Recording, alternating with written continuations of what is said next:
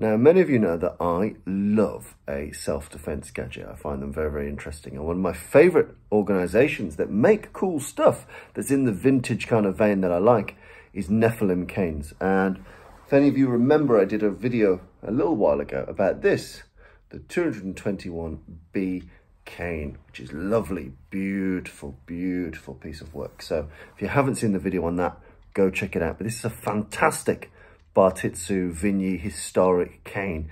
It really does mean the business. Well, the guys got in touch and they told me that they launched something new, something very, very interesting. And that is the Nephilim Montana. The reason why it's called a Montana is because you say hello to your little friend. And in this instance, what a friend it is. So as you can see here, it's a pen-like Kubotan. So it does not function as a pen, but it makes a bloody good job of looking like one. It's got this beautiful, uh, you know, this engraving kind of marks in here into the pen clip. Uh, the business end up the top, this is brass, and it moves down to steel here.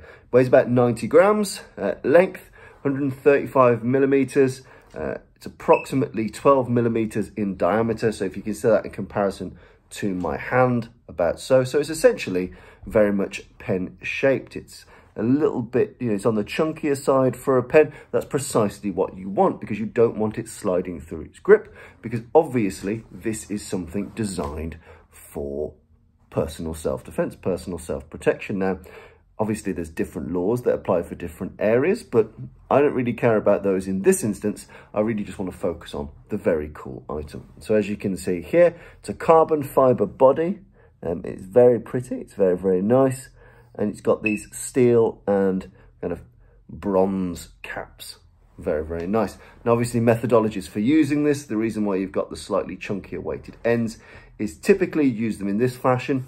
You typically cap the thumb here and use this as a extra striking surface, typically aiming for hard, bony bits of your opponent's body. So against the jawline, in extremis, the temple, come down onto the collarbone. You've got all manner, you know, cracking down onto the hands, the forearms. There's all manner of places, but typically with a weapon like this, it's for the harder, bonier parts of the human body.